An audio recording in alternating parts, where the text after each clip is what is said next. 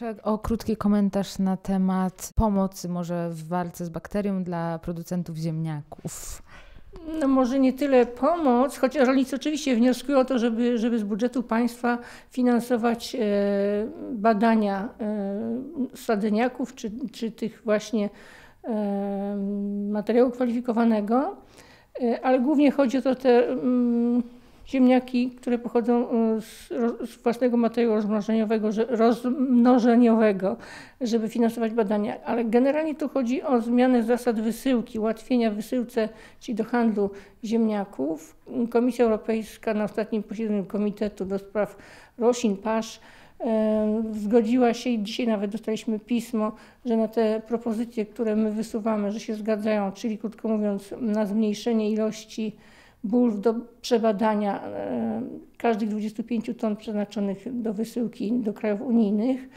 E, zgodziła się na to, żeby znieść obowiązek plombowania samochodów, którymi te ziemniaki są wysyłane.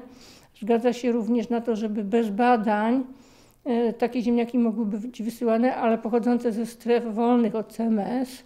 Oczywiście to też wymaga pewnej procedury, spełnienia pewnych warunków, ale jest zgoda komisji, że te badania wstecz, jeżeli były ziemniaki z danego obszaru czy y, strefy badane, żeby uwzględnić.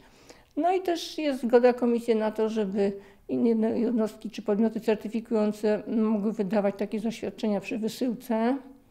E, te jednostki certyfikujące, które e, no, zajmują się integrowaną produkcją. Czyli tutaj parę ułatwień jest, natomiast jeśli chodzi o młode ziemniaki, tutaj zgody państw członkowskich jeszcze nie ma. Natomiast komisja jest otwarta na nasze argumenty. Będziemy musieli przedstawić informacje co do wyników kontroli dokonywanych na drodze, jeśli chodzi o transporty ziemniaków.